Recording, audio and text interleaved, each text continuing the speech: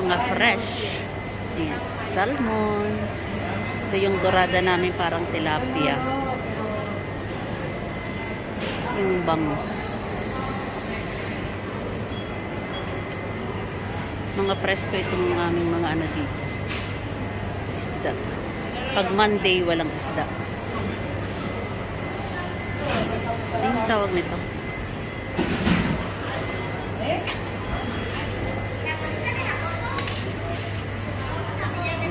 Ang pula.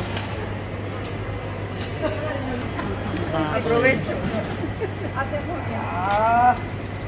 Ito yung klase ng tamban dito sa amin. May mga maliliit. Ang tawag namin bukeron. Masarap itong rebosado. Wala kaming malalaki pa ngayon. Maaga pa. Tahong. Mga fresh na fresh siya. Kaya linis. Chicken. Conejo. This is a rabbit.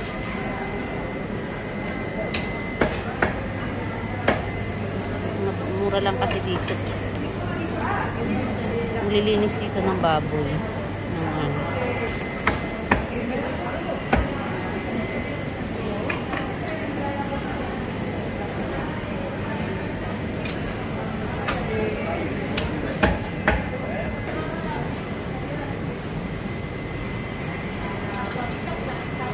Pork tenderloin.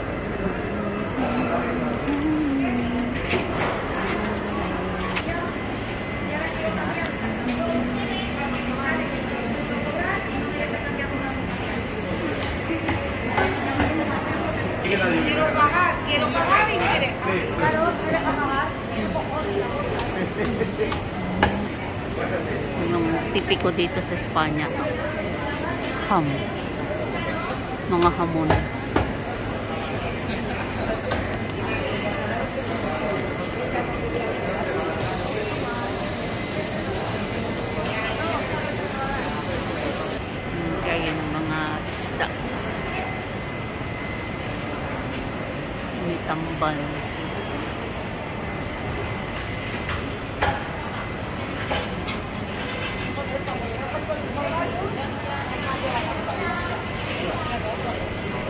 market. Ito yung market dito sa amin. Malapit sa bahay.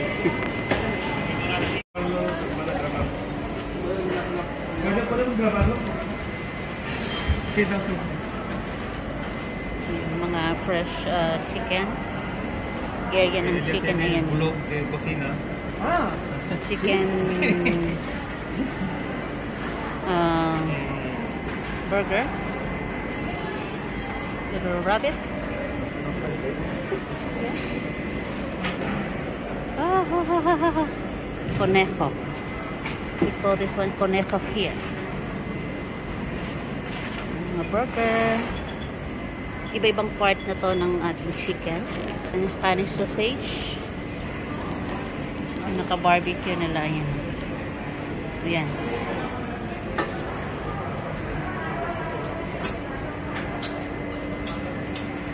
Kaya ng mga chicken. Ito naman ay pabo to guys. So,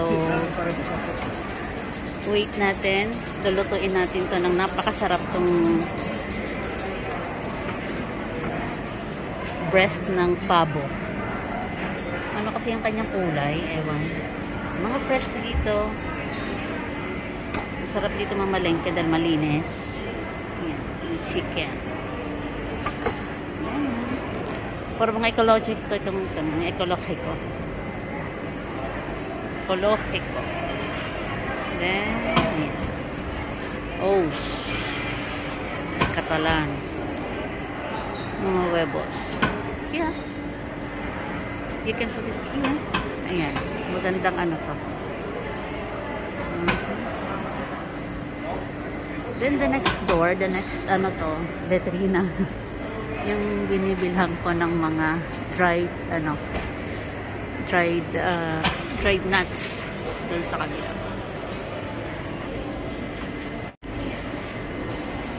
Area naman nila to. Ito extension nila to. Dito ako bumibili ng mga spices nila guys.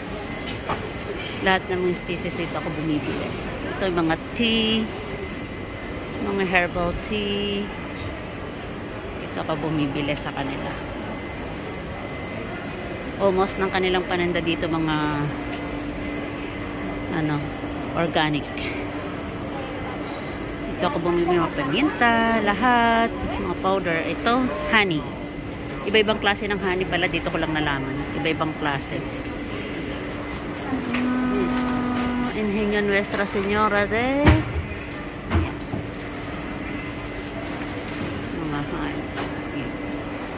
Almost yung mga tinda